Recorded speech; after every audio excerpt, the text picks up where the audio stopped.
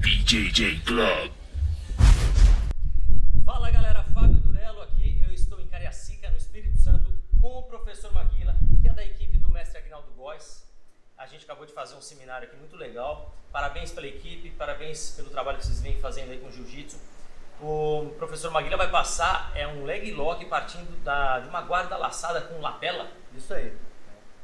Vou assar a lapela, fitar com raspar, né? Você vai defender, vou Vai pra perna. Vamos fazer.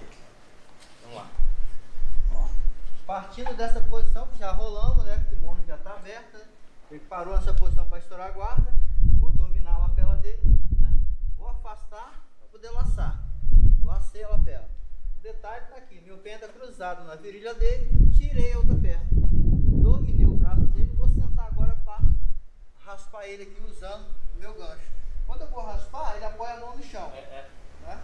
Então, quando ele jogar a mão no chão, no alto eu vou virar o quadril dele, estico a perna, pro leg. Muito legal. Vamos fazer de novo. Você me desequilibra para que eu apoie o braço lá e a perna fica leve. Isso aí. Vamos lá. E essa laçada aqui, professor, é a mesma laçada que faz no braço. Mesmo lançado vai no braço. Vamos lá. Vou fazer um pouquinho Dedão, dedão pra cima, Vou ligar pra cima, tá? usando o apoio da minha coxa, perna sempre viva o joelho, Pra se que, deixar ó, se deixar mole, eu vou vai te... passar. É. Então travei, fiz a pegada, entrei justo. Ó, Muito legal, muito legal.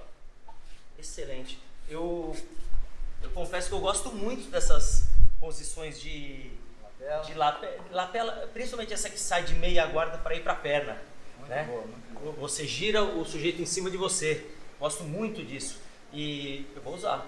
Eu tenho certeza que tem muita gente ali que vai gostar também. Isso aí, espero que ela possa acrescentar no jogo aí o pessoal que gosta de fazer lapela, que é muito boa, tá? Parabéns, parabéns pelo trabalho que vocês vêm fazendo, vocês vêm fazendo aqui com a equipe do mestre Aguinaldo Góes aqui no Espírito Santo. Tá? O trabalho com os alunos e com a federação também. Isso aí. Parabéns. Fábio, obrigado aí pela essa moral que você deu à nossa equipe. Eu aí, que agradeço, no nosso que isso. estado, né?